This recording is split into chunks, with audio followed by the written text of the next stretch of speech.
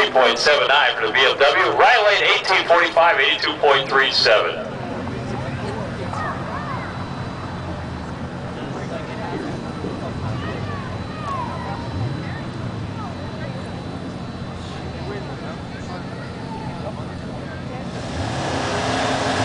All right, nondescript Mustang here. That's kind of quiet.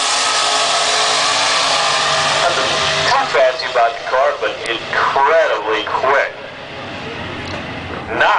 963, 144